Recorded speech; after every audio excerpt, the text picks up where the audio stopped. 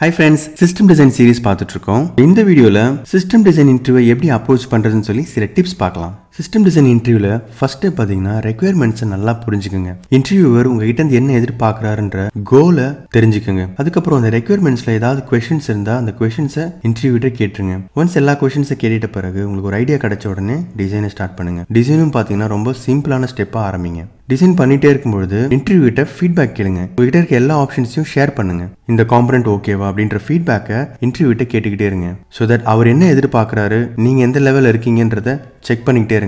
Once இன்டர்வியூவோட collaboration நல்லா போயிட்டு இருக்கும்பொழுது அடுத்த ரெக்யர்மெண்ட்டை கன்சிடர் பண்ணுங்க. ஸோ இந்த சைக்கிளை என்டையர் இன்டர்வியூ செஷனில் ஃபாலோ பண்ணிக்கிட்டே இருங்க. ஸோ இது ஒரு good practice next best practice பார்த்தீங்கன்னா பேபி ஸ்டெப்ஸ் உங்களோட சிஸ்டம் டிசைனை ஸ்டெப் பை ஸ்டெப்பாக தான் அப்ரோச் பண்ணணும். ஃபார் எக்ஸாம்பிள் ரெக்யர்மெண்ட்ஸ் கொடுத்த உடனே காம்பனன்ட் டிசைனை டீட்டெயிலாக போகக்கூடாது. அதுக்கு பதிலாக ரொம்ப ஹை லெவலில் தான் ஸ்டார்ட் பண்ணணும். ஃபர்ஸ்ட் அந்த சிஸ்டத்தோட யூஸர்லாம் ஐடென்டிஃபை பண்ணுங்க. என்ன ப்ரோட்டோகால் யூஸ் பண்ண போகிறோன்றதை ஐடென்டிஃபை பண்ணுங்க.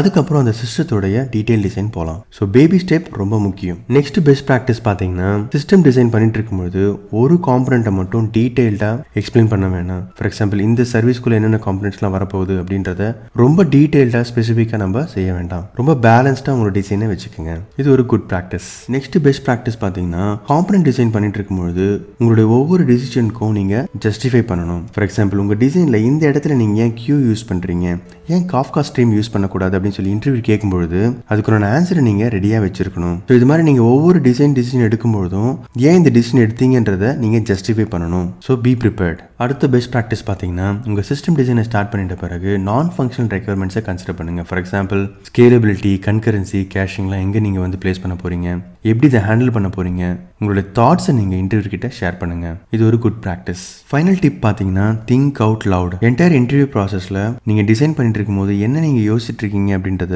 இன்டர்வியூ கிட்ட ஷேர் பண்ணிக்கிட்டே இருங்க. ஸோ தட் நீங்கள் என்ன யோசிக்கிறீங்க அப்படின்றத அவங்களுக்கு தெரிய வரும். ஸோ அது ஒரு நல்ல ஒரு கொலாபரேஷனாக இருக்கும் இன்டர்வியூ ப்ராசஸில் இது ரொம்ப முக்கியமான ஒரு best practice friends system design இன்டர்வியூவில் சில டிப்ஸ் பார்த்துருக்கோம். உங்களுக்கு இந்த இன்ஃபர்மேஷன் உங்களோட இன்டர்வியூக்கு யூஸ்ஃபுல்லாக இருக்கும்னு நினைக்கிறேன். Thank you so much for your support and all the best for your career thank you